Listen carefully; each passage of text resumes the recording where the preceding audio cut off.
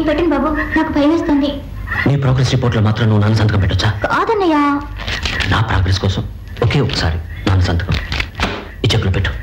ఐదో పదో అయితే పర్వాలేదు. ఇరవై వేల రూపాయలు వేసావు. అయ్యో నాన్నగారికి తెలిస్తే నన్ను చంపేస్తారు. ఉద్యోగం సద్యోగం లేని వాడికి ఎందుకు ఇరవై వేల రూపాయలు?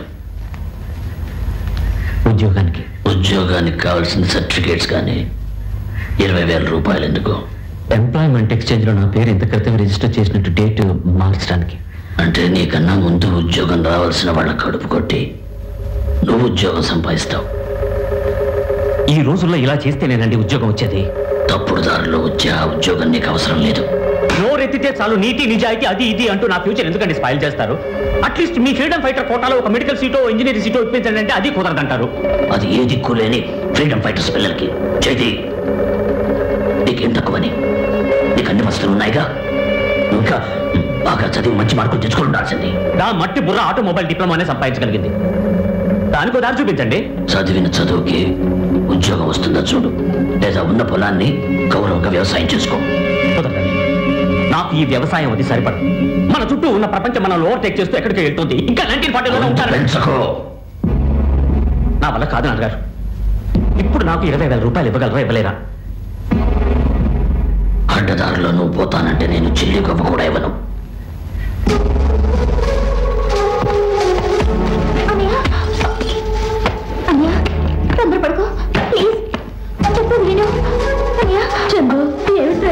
నేను. ఇంట్లోంచి వెళ్ళిపోతున్నానమ్మా ఏంతో వాదిస్తూ కూర్చుంటే పిచ్చి పట్టి వీధిన పడాల్సి ఉంటుంది.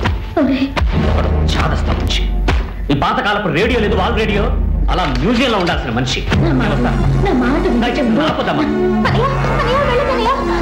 చందు. చందు. నేను చెప్పేది నువ్వు. నువ్వు ఇక్కడ ఉండొద్దు. ఎవరన్నా తీసుకొని లేచిపో. లేదా ఏ మత్సాలైన మహాపురుషుని ఎవరినో తీసుకొస్తానని చెప్పి ఇంత వయసు వచ్చేదాకా నేను ఇక్కడే వచ్చేస్తాడు నీ కర్మ.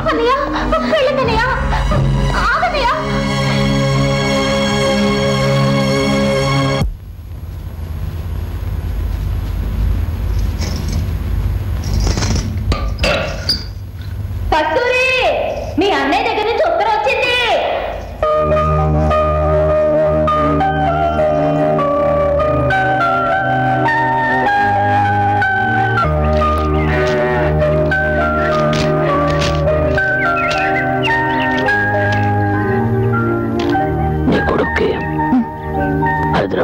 ఆర్టీఓ ఆఫీస్లో తాత్కాలికంగా ఉద్యోగం చిక్కిందిట.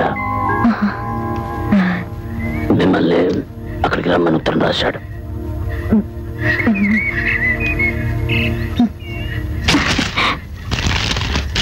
వెళ్తావా అమ్మా? వెళ్ళను. మిమ్మల్ని వదిలిన వెళ్ళను.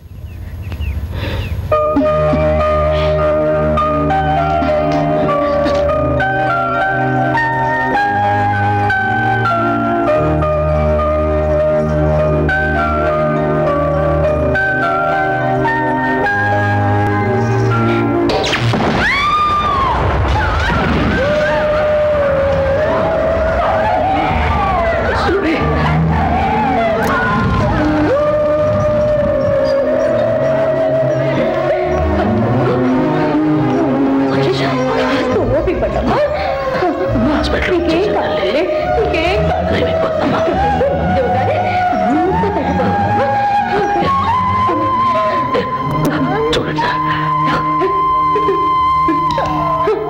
భయపడక. ఇది పోలీస్ కేసు అండి. మీరు తినకపోతే సందు చివరిలో పోలీస్ స్టేషన్ ఉంది. అక్కడికి వెళ్ళి ఎఫ్ఐఆర్ రిజిస్టర్ చేయండి. లేదా నెంబర్ తీసుకొచ్చినా చాలు. అవన్నీ తర్వాత సార్. బిడ్డ అల్లాడిపోతుందండి ట్రీట్మెంట్ ఇవ్వండి సార్ ప్లీజ్ ఇవ్వండి ట్రీట్మెంట్ ఇలా చూడండి. ఇది థర్డ్ డిగ్రీ బర్న్స్ బతకడం చాలా కష్టం. ఇలా చూడమ్మా. ఇది యాక్సిడెంట్ కేసో సూసైడ్ కేసో మాకు ఎలా తెలుస్తుంది? నేను చెప్పింది అర్థం కాలేదా? అయ్యా. వెంటనే వెళ్ళి ఎఫ్ఐఆర్ నెంబర్ తీసుకురండి. లేదా పోలీసులు మమ్మల్ని వాయించేస్తారు. ఎవరు రాయించినా ఎంత చెప్పినా అర్థం చేసినట్లేడు ఏ రామలింగం కాస్త వివరంగా చెప్పు. పెద్దనా? కొంచెం ఇలా రండి. ఒకే కూతురా. ఇంకా పెళ్ళి కూడా కాలేదనుకుంటాను? లేదు. పాప మీ టైంలో పోలీసులు గీలీసులు ఎక్కడికి వెళ్తారు? ఓ ఐదు వందల రూపాయలు ఇచ్చుకోండి. ట్రీట్మెంట్ ఇచ్చేస్తారు డాక్టర్ గారు. ఎందుకంటే ఐదు వందలు? ఎందుకో ఐదు వందల రూపాయల? ఏ లోకంలో ఉన్నారు పెద్దనా? ఐదు లక్షల రూపాయలు ఇచ్చి సీటు కొనుక్కొని డాక్టర్ అయ్యారు కదా? అది సంపాదించుకోతే చెప్పండి. అందుకు గవర్నమెంట్ జీతాలు ఇస్తున్నారుగా మీకు? బాగుందండి. ఇటు చూడండి. రామలింగం వదిలేబాయ్ పెద్ద నిజాయితీ పరులో ఉన్నాడు. ఎందుకు ఏమిటి అని అడుగుతా. అయ్యా పెద్ద ఆయన పోలీస్ స్టేషన్కి వెళ్ళి ఎఫ్ఐఆర్ నెంబర్ తీసుకురండి. వెంటనే ట్రీట్మెంట్ స్టార్ట్ చేస్తాను. చూడటానికి ఇది సూసైడ్ కేసులో ఆడుతూ పాడుతున్న నేను వదిలిపెట్టుకోను నాన్న.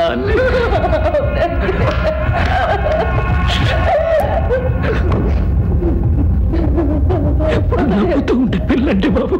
మాట్లాడుకుని ఐదు వందలు వచ్చి పని కానించుకోండి ఎందుకయ్యా? నీకు అసలు బుద్ధే లేదు. వెళ్ళి ఎఫ్ఐఆర్ తీసుకురాబా రావలింగం ఈ స్ట్రెచర్ తీసుకెళ్ళి బయట చెప్పండి వాట్ బాయ్ ఈ స్టేషన్ తీసుకెళ్ళి బయట పెట్టండి.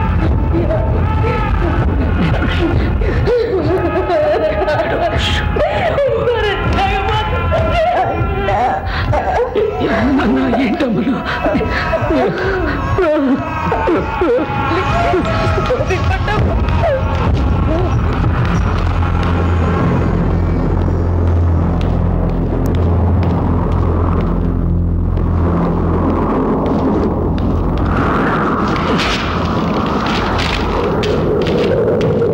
అయ్యా నమస్కారం ఆ, నా కూతురు గ్యాస్ సిలిండర్ పెళ్ళి ఒళ్ళు కాలి ఆ ఆసుపత్రిలో కొడుకు ఊపిరితో కొట్టుకుంటోంది ఆసుపత్రిలో కేసు బుక్ చేస్తే కానీ ట్రీట్మెంట్ ఇవ్వనన్నారు.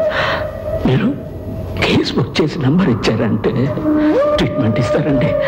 ఏ ఏరియా? నేతాజీ నగర్ సార్. మహారా సార్. నేతాజీ నగర్ మనండలో ఉందా? అవును సార్. కొత్తగా డివిజన్ విడదీస్తే ఇప్పుడు అది మన పక్క వచ్చింది. శివాజీ నగర్ ఏమో అటు కలిసింది. పెద్ద ఆయన మీరు పొరపాటున ఈ స్టేషన్కి వచ్చారు. ఒకటో తారీఖు నుంచే మీ ఏరియా మా జ్యూరీ సెక్షన్లోకి వస్తుంది? ఏం చేద్దామంటారు ఎవరైనా అటెండ్ అవ్వచ్చు కదండి. కాస్త కనుకరించండి సార్. ఒక పని చేయండి. వెళ్ళి విఏఓ దగ్గర లెటర్ తీసుకురండి. ఆయన ఎవరు సార్? విలేజ్ అడ్మినిస్ట్రేటివ్ ఆఫీసర్ అని రెవెన్యూ డిపార్ట్మెంట్ వ్యక్తి అండి. మీ ఏరియాలో నాయుడు గారని ఒకరున్నారు చాలా మంచివారు. వారి దగ్గరికి వెళ్ళి నువ్వు ఫలానా అని తను నీ కూతురేనని ఫలానా అడ్రస్లో ఉంటున్నానని ఇది ఆత్మహత్య హత్య కాదు ప్రమాదమైన సర్టిఫికేట్ తీసుకురండి. వెంటనే ఎఫ్ఐఆర్ నమోదు చేద్దాం. సార్ ఎందుకు సార్ మాతో ఆడుకుంటారు? రూల్స్ మరి? వేరే దారి లేదా ఉంది. ఆ హెడ్ ఒక రెండు వందల యాభై రూపాయలు ఇవ్వండి. వెళ్ళి సర్టిఫికేట్ ఏర్పాటు చేస్తాడు. ఎందుకంటే రెండు వందల యాభై. ఎందుక? ఇదిగో ఇటువంటి సమయాల్లో రూల్ ప్రకారం జరగాలంటే సర్కార్ మిషన్కి అక్కడక్కడ ఆయిల్ పోయాలయా? అన్యాయం.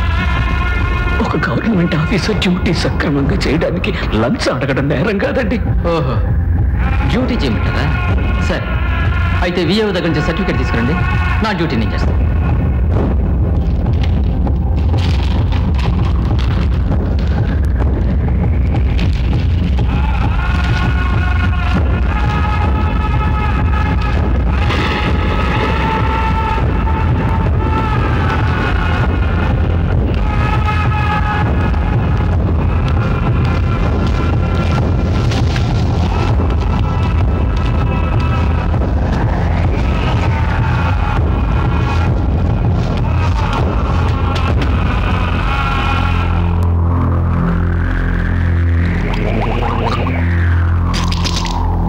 కాదంటలేదు పెద్ద ఆయన. పద్ధతి అంటూ ఉంది కదా. తెల్లారిన తర్వాత తారని పంపుతాను. వాడు చుట్టుపక్కల విచారించి మీరు నాకు చెప్పింది నిజమే అన్నాడు అనుకోండి వెంటనే పోలీస్ స్టేషన్కి రిపోర్ట్ పంపుతా. దానికంత టైం లేదండి. ఇప్పుడే కావాలంటే నూట యాభై రూపాయలు అవుతుంది. భగవంతుడా ఓ రెత్తితే డబ్బు. ఎందుకు? ఎందుకంటే ఎవరి పనులు వాళ్ళు చేయడానికి ఎందుకంటే డబ్బులు అడుగుతారు? నేను ఉన్నవాడు ఇస్తాను లేని వాడికైతే ఏంటి లేనుడు ప్రాణాలతో ఉంటే ఏంటి చస్తే ఏంటి?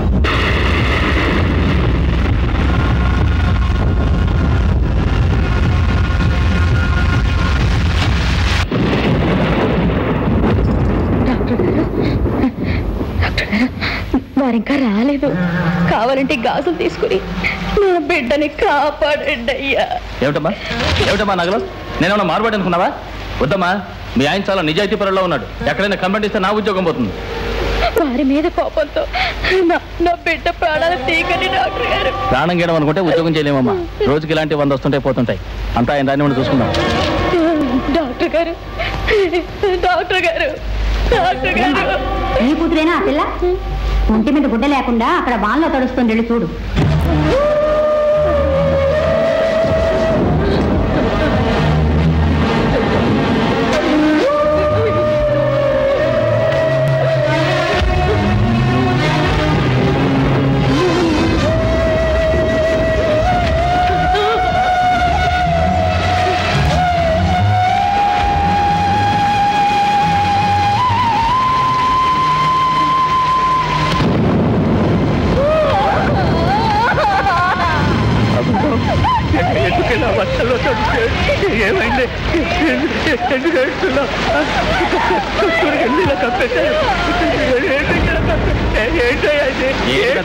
పని చేసావు అడిగిన డబ్బులు ఇచ్చింటే గొడవ ఉండేది కదా ఇప్పుడు చూడండి పోలీసులు సంతకం పెట్టండి తీసుకెళ్ళినారు. డబ్బు కట్టండి బాడీని మార్చుకుని తీసుకెళ్ళరు. అంతా తల వల్లే. నా తల్లి తల్లి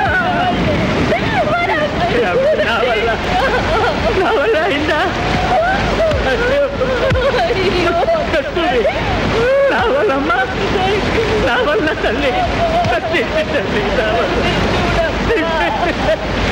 నేను చేసింది తప్ప నేను చేసింది తప్ప నేను చేసింది తప్ప దేవుడా నేను చేసింది తప్పంటారా నేను చేసింది తప్ప నేను చేసింది తప్ప నేను చేసింది తప్ప.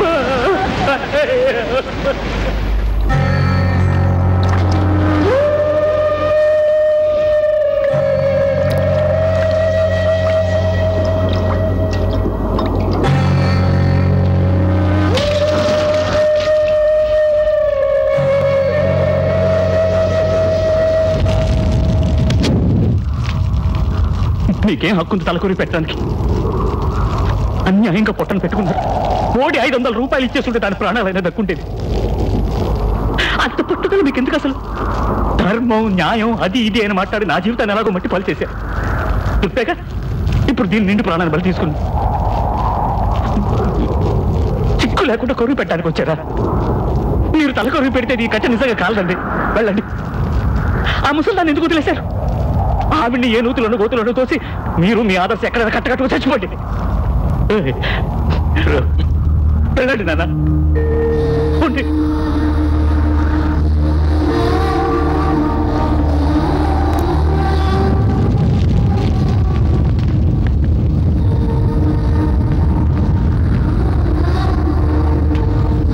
చేసింది?